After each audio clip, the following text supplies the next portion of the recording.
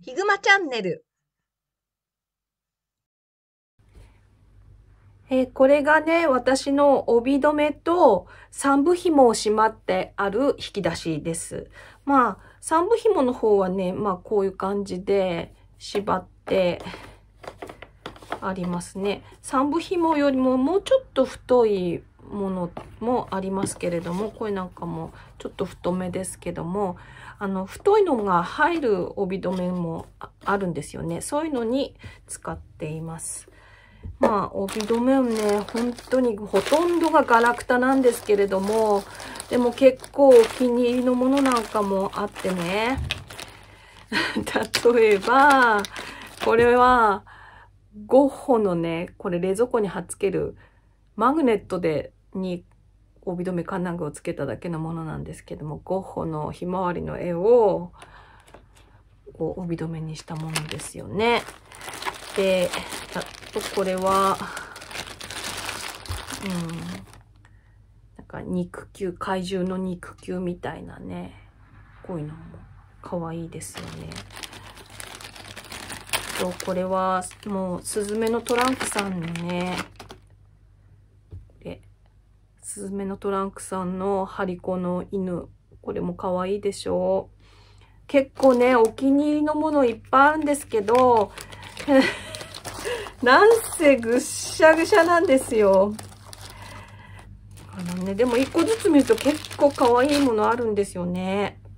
これは私の妹が作った七宝焼きのね、お魚。これももうちょっといい感じでしょう。とにかくね、たくさんあって、ほとんどがガラクタなんだけど、結構お気に入りのものがあるのでね、ちょっともう少しわかりやすく整理したいなと思います。もうほんとね、あ、あれが使いたいなと思ってもね、まず出てこないんですよね。なんか全然関係ないものとかも入ってるしね。めちゃくちゃですね。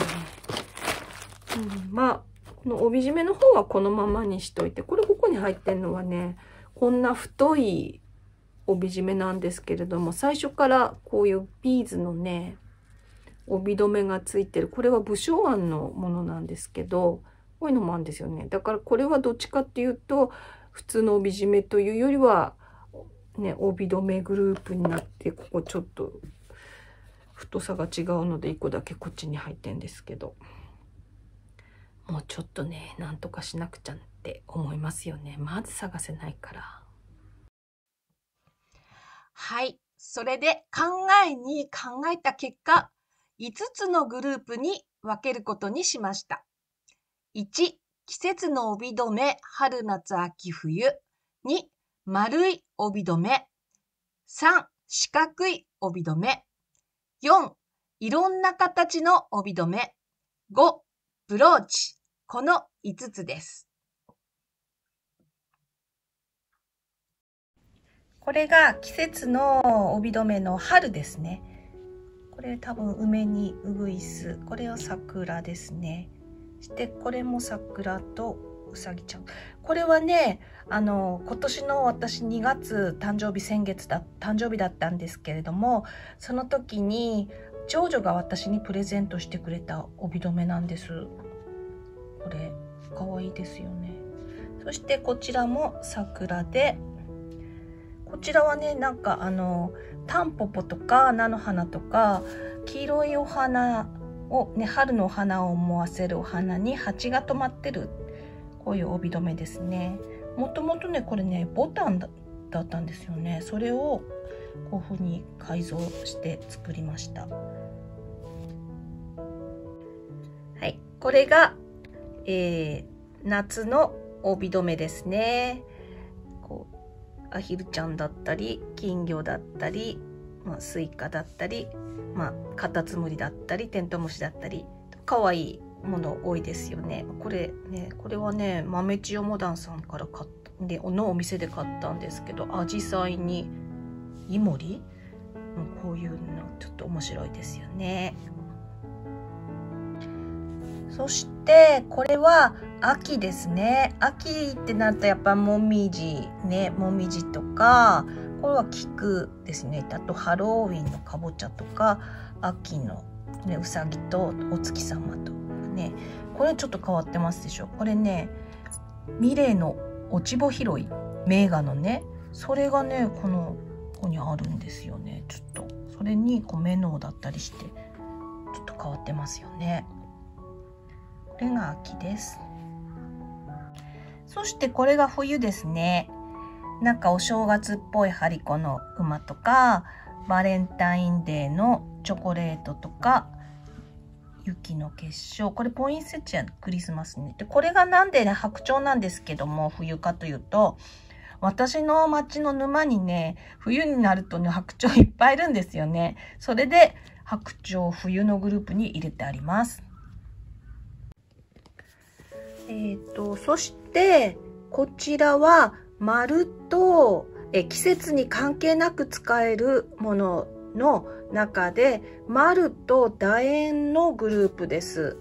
元はあのブローチだったものあるんです。こういう例えばこういうのね。でももう今は帯留めの金具がついているのでそういう帯留めの金具がついてるのは全部このグループブローチだったものでもこのグループに入れています。丸と楕円。結構ありますよね、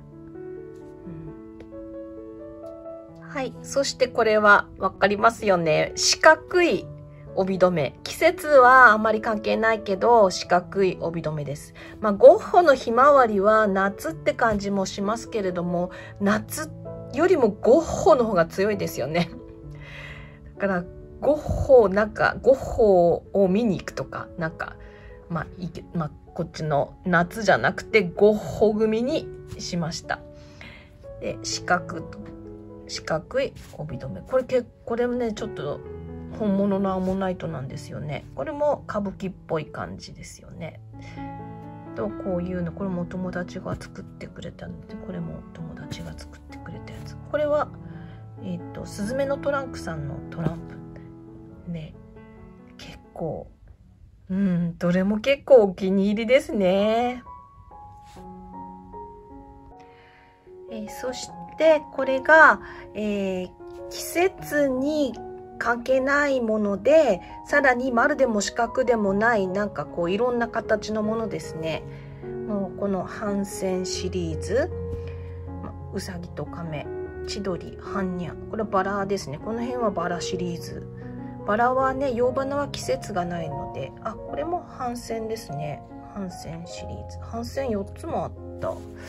4つもありますね。と蝶々とか。蝶々もね夏にした方がいいかなと思ったんだけど結構春でも夏でも使うしなと思ってここに入れました。うん。でこのバイオリンのはねこれ2つあったんですよね。うん。ますよね。うわなんかはんにゃ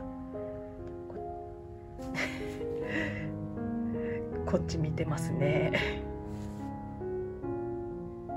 最後のグループでこれはあの帯留めではなくてまだブローチの姿なんですよね。